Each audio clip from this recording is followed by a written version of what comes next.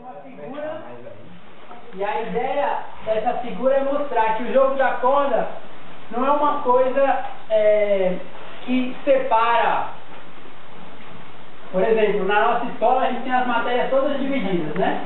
Química é uma coisa, física é outra coisa, matemática é outra, português é outra. Mas a gente sabe que na nossa vida as coisas são muito relacionadas.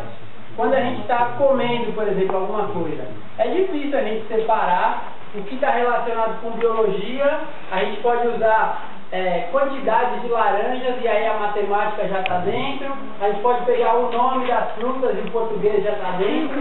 Então, quando a gente enxerga o mundo com as coisas relacionadas, a gente chama de abordagem sistêmica.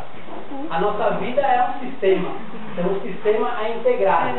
E aí o jogo da corda é sistêmico. A gente não pode olhar para o jogo da corda como algo separado. Ele é uma coisa que aborda várias disciplinas, várias formas de enxergar o mundo, várias perspectivas e visões.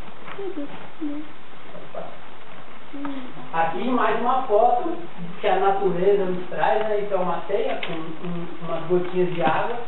Mais uma prova de que a vida, a natureza, ela é sistêmica. Ela faz parte, está interligada um lado um ao outro. Esse pontinho aqui está ligado com aquele pontinho de lá, porque vem para cá, vem para cá, vem para cá, e em algum momento vai chegar lá.